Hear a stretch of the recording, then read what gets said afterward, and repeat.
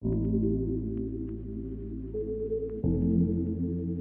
Mercurio en trígono, con Juno en su signo, se mejora su atención natural a los detalles, lo que hace que este sea un día ideal para organizar y planificar, particularmente dentro de las asociaciones. Su capacidad para comunicarse eficazmente sobre asuntos prácticos está en su punto máximo. Utilice esta claridad para abordar cualquier área de responsabilidad compartida, garantizando que todos los detalles se manejen con precisión.